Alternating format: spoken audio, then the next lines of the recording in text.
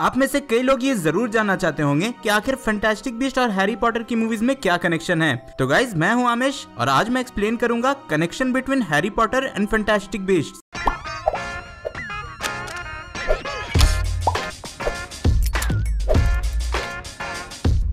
to be honest बहुत लोगों को fantastic beast where to find them पसंद ही नहीं आई थी।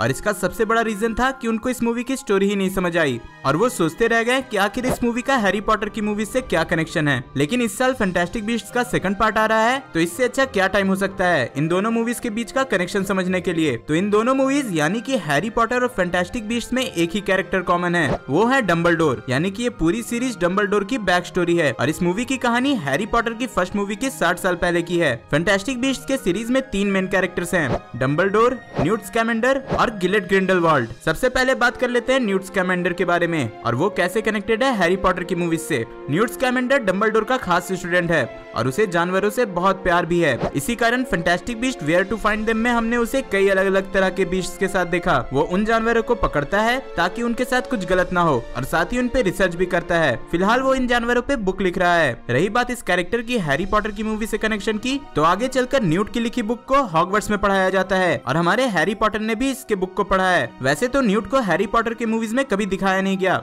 But Harry Potter and the prisoner of Azkaban में मेराडर्स के मैप पे हमने इस कैरेक्टर का नाम ज़रूर देखा। इस कैरेक्टर का एक और छोटा सा कनेक्शन हैरी पॉटर की मूवी से है। आपको ये तो याद ही होगी, इतनी भयानक औरत को कौन भूल सकता है? ये थी बेलेट्रिक्स लेस्ट्रांज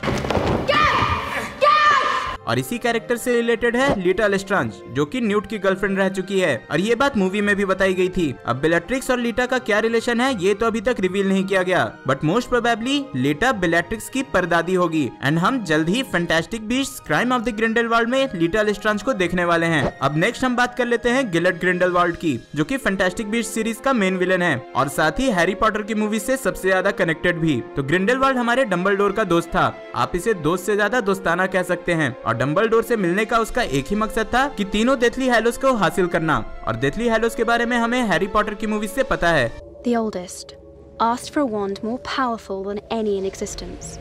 So Death fashioned him one from an elder tree that stood nearby. हालाँकि डम्बलडोर को ग्रिंडलवाल्ड के प्लान का पता चल जाता है और डम्बलडोर उनके भाई एबरफोर्थ और ग्रिंडलवाल्ड के बीच लड़ाई होती है और इसी लड़ाई में डम्बलडोर की बहन एरियाना मारी जाती है और वहाँ से ग्रिंडलवाल्ड भाग जाता है देन कुछ सालों बाद ग्रिंडलवाल्ड ग्रेग्रोविच से पहला डेथली हेलोस एल्डर छड़ी चुरा लेता है और ये सीन हमने Harry Potter and the Deathly Hallows के पहले पार्ट में देखा है Who was he? The thief?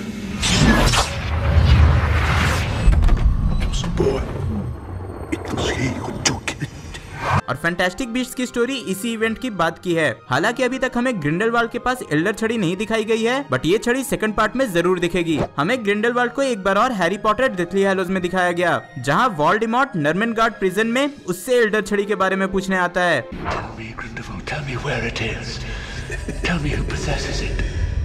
Books में ये सीन ऐसी नहीं थी, बल्कि वोल्डिमोट ने यहाँ ग्रिंडलवाल्ड को मार दिया था। तो ये था हैरी पॉटर और फैंटास्टिक बीस्ट के बीच का कनेक्शन अगर आपको और सिंपली इसको समझना है तो आप ऐसे समझ सकते हैं। जादूगरों की दुनिया में तीन सबसे बड़ी लड़ाई हुई है, जिसे विजर्डिंग वार बोला जाता है। सबसे पहले थी ग्लोबल विजर्डिंग वार, जिसमें डम्बलडोर और ग्रिंडलवाल्ड के बीच में लड़ाई हुई थी, और इसी वार को फैंटास्टिक बीच के पाँच फ़िल्मों में दिखाया जाएगा। दूसरी थी फ़र्स्ट विजर्डिंग वार, जिसमें लॉर्ड वॉल्डिमोट ने अपना पहला हमला किया था, और ऑर्डर ऑफ़ द फिनिक्स ने उनसे मुकाबला किया। और ये लड़ाई खत्म हुई जब वॉल्डिमॉर्ट ने हैरी को मारने की कोशिश की, लेकिन अपनी माँ की जादू की वजह से हैरी बच गया। तीसरी और आखिरी लड़ाई थी सेकंड विजिटिंग वार जिसमें हैरी पॉटर और लॉर्ड वॉल्डिमॉर्ट का सामना हुआ था, और इस लड़ाई में वॉल्डिमॉर्ट मारा जाता है, और इसी वार को हमने हैरी पॉटर के सारे मूवीज़ में देखा है। तो गाइज़ ये थी इन दोनों मूवीज़ के बीच की कनेक्शन अगर मेरी वीडियो पसंद आई तो लाइक करिए, और ऐसी कंटेंट के लिए सब्सक्राइब करिए। इस वीडियो को देखने के बाद मैं रिकमेंड करता हूँ की आप मेरी fantastic beasts crimes of the Grindelwald का ट्रेलर ब्रेकडाउन ज़रूर देखें। मैं जल्दी और नए वीडियो लेकर आऊँगा। Till then be desi be nerd